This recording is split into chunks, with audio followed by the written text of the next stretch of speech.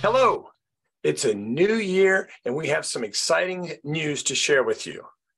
You've known us for the, almost 30 years as Scott Robertson Auctioneers, the voice of experience. Well, now we're going to be changing our names for the 2023 to Champion fundraising auctions. Now, you're going to get the same level of service from the same talented team. Everything's essentially the same, except we're changing our name to Champion Fundraising Auctions.